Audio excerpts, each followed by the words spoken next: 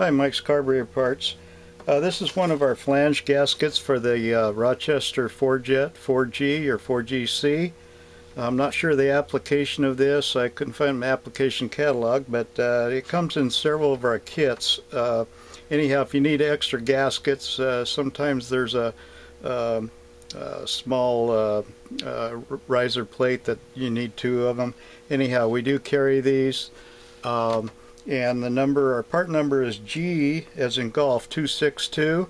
Uh, so go to our website, Mike's uh, Carburetor Parts. Uh, let's see, that's uh, mikescarburetor.com. Um, and uh, you can buy them there. I appreciate your business.